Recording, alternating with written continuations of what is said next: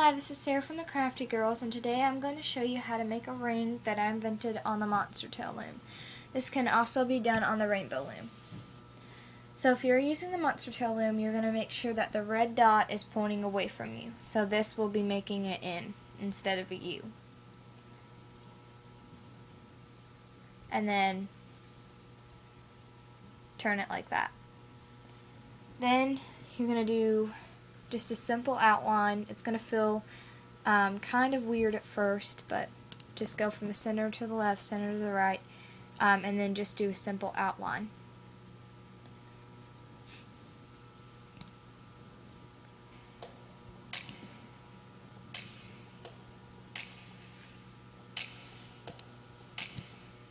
I've never seen a diamond in the flesh. I cut my and then push your bands down. And it might feel weird because it's so tiny, but then you're going to take your second color and you're just going to make an X. Then take your second color, make an X. Like that. Then you are going to take the color of your outline and you're going to make a cap band. So wrap it around about three times, like that, and then turn it over, and then you can get your hook. You're going to reach through that cap band, and you're going to just flip the ones that go from the center to the left and the center to the right. Um, don't flip any other ones.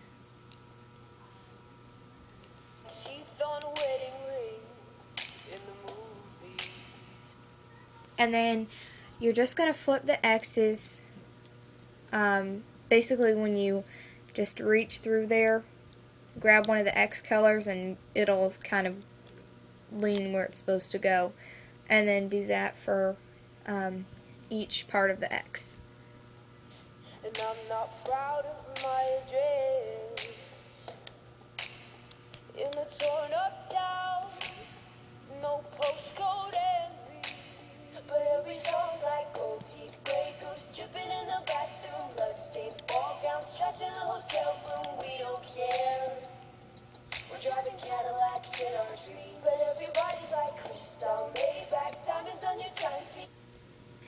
Then you're going to reach through here and you're just going to grab the sides and you're going to flip the outline.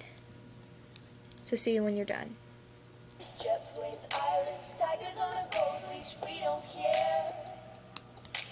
Caught up in your love affair,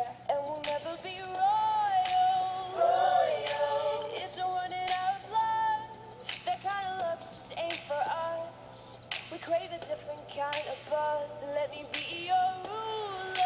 Ruler. You can. Okay. And now you're going to reach your hook through all these bands and you're going to do a chain of three. Um,